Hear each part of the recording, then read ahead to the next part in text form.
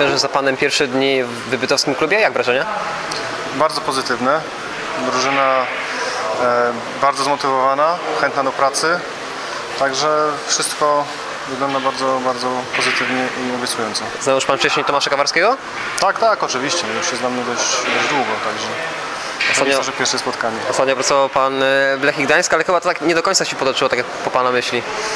No, epizod Lechii jest już za nami, także nie wracajmy do niego. Za nami też sparring z Wittorul. Jak pan oceni ten, ten mecz wykonania na naszych zawodników? Jesteśmy troszkę na innym etapie przygotowań i ogólnie oceniam go bardzo pozytywnie.